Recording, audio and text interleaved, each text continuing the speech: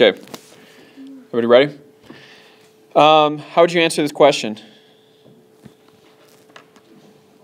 Any ideas? If if you saw this on a test, ah, stop it. Stop it. If you saw this question on a test, what would you say?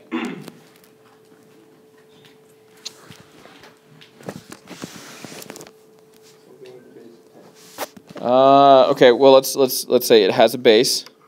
Okay, so right now we're we're not um, defining it; we're describing it.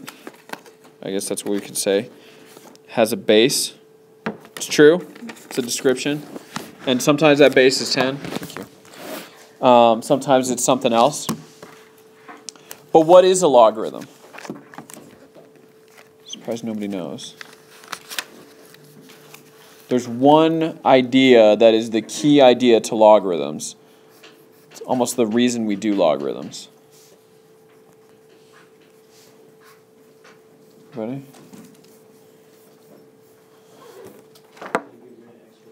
Okay, thank you. Um, it gets rid of exponentials because it is the inverse of exponentials.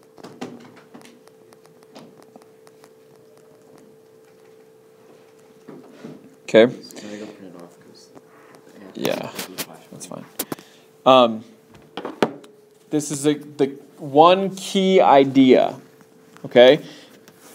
If I were to ask you what is a logarithm, one of the things that you have to have to have to say is that a logarithm is the inverse of an exponential. Okay. Um, what if I asked you to uh, explain what a logarithm is graphically? Or to illustrate what it is graphically. What does that mean? Or how would you do that? Yeah, you could graph a parent function, and what would you compare it to? What would you compare the parent function to? Like if I wanted to graph, let's take our natural logarithm, right? That's a good parent function there. What would I compare this to to to get this idea that it's the inverse of exponentials?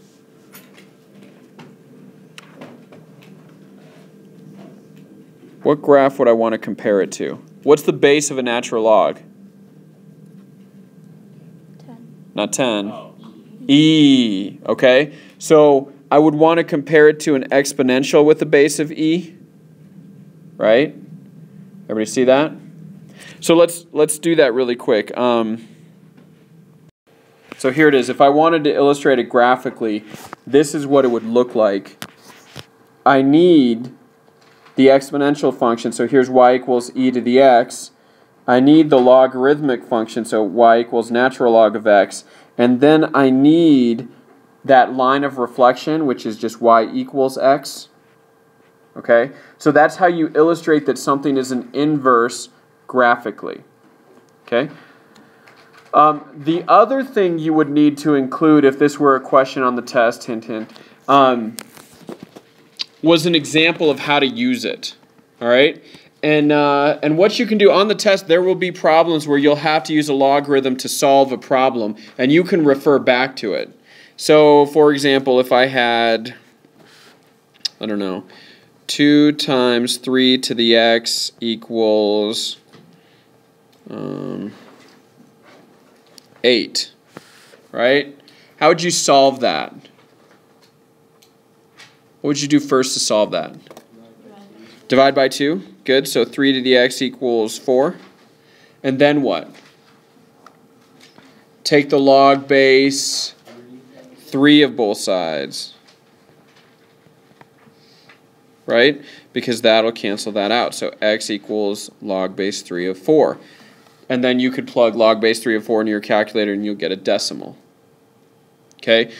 So, so here's, here's what we have.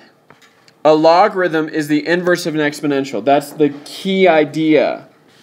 Here is how you illustrate it graphically, and you could, you could do this with any graph. You could say, you know what, I'm going to use y equals log x, which then the inverse would be y equals 10 to the x. Or I'm going to do y, y equals log base 2 of x. And the inverse to that would be y equals 2 to the x, right? I just chose e because e is nice and easy. Does that make sense? As long as whatever you choose has the same base, they're going to show up as inverses of each other. And then when you graph that y equals x line, um, then it'll be obvious that they're inverses because they're reflected across that line. Okay? And then you can have one example of this is how I would use a logarithm to solve an equation. This is why it's important that it's the inverse of exponentials because it allows me to solve an exponential equation. Any questions on that? Does that make sense? Okay, so I'm going to go ahead and stop this.